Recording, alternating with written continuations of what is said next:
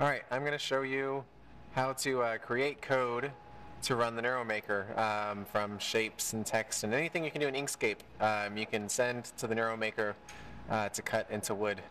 So um, I guess I'll do something really simple in Inkscape. I'll just um, create a new Inkscape and type out my name in text. Uh, one important step here is that everything that you're going to send to the um, NeuroMaker has to be in path. So right now this is a text object. We're going to go to object, uh, I'm sorry, path, object to path, and that will convert this to a path. And now that it's a path, we can export it. Um, we want to make sure this is the size we want it in inches. Um, 7 by... I think we're going to rotate it for convenience later. We'll just have it like that. Okay, so um, if I remember right, everything is relative to the bottom left corner. So that's going to be our origin. The, the NeuroMaker is going to move from here. So position everything you want close to the origin in the bottom left corner. Okay, we can save it just as a standard SVG. Put it on my desktop. So the software we're going to use to convert to the uh, machine code is called MakerCam, and um, it's accessible via the internet. You can just go to makercam.com. But in the case that that website is down, which sometimes it is, I've also saved. It's just a it's a Flash application, so we have a locally saved version of the Flash application. Looks exactly the same.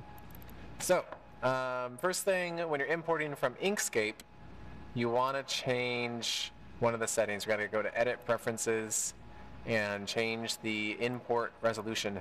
So from Illustrator, Adobe Illustrator, it's fine, you don't have to change this number, but since we're importing from Inkscape, we need to change this to 90 pixels per inch. So that's just so that our um, dimensions match up.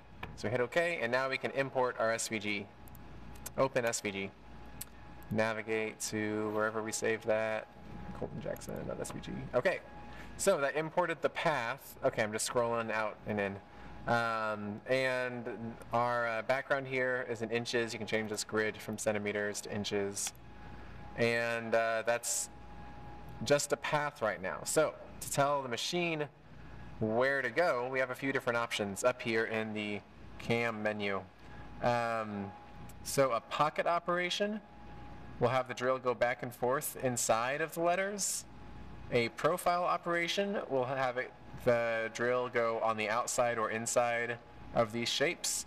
Uh, but a lot of the time I find myself just using the follow path operation and that'll take the drill along the exact line. Okay, so when you use, pick one of those operations, it brings up um, a few parameters we have to fill in.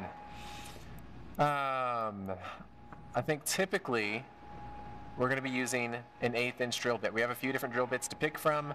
I find the eighth inch drill bit to be kind of versatile, so we'll stick with that for this tutorial. Um, so an eighth inch in decimal form, 0.125 inches. So that's the tool diameter is the, the diameter of your drill bit. Then we have target depth, which is how deep we want to go down.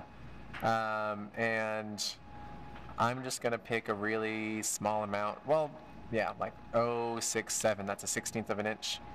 Um, safety height is the height that the whole router moves in between um, cuts, so it raises up half an inch uh, between cuts. That's pretty good if you've got a drill bit, um, but it's also wastes a little bit of time going up and down. I usually mark it down to maybe 0.2 inches.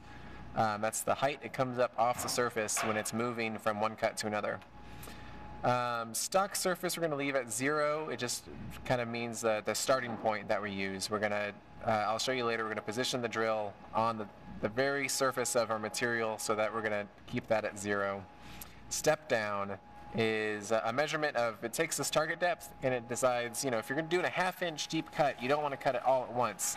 You'll, you'll uh, snap your drill bit. So you want to decide how much to step down at a time, and it's kind of how deep can you cut at, at a time, and that's related to your tool diameter. So typically, it's kind of a rule of thumb I've been told, I need to do some more research, but um, if you've got an eighth of an inch tool, you don't want to drill any deeper than half of that. So we don't want to drill any deeper than a sixteenth of an inch at a time. Um, so if you're doing a really shallow cut though, so if I'm doing a sixteenth of an inch cut, and I can use a sixteenth of an inch step down, and it'll just do that one cut. Okay, feed rate and plunge rate. Um, typically, I leave at the default values. There's a lot of material out there that'll tell you how to um, calculate ideal feed rates and uh, and all that. Plunge rate is just how quickly it moves down. Um, but those are both good numbers to start with. So we hit OK, and it decides, well, highlights all of our moves.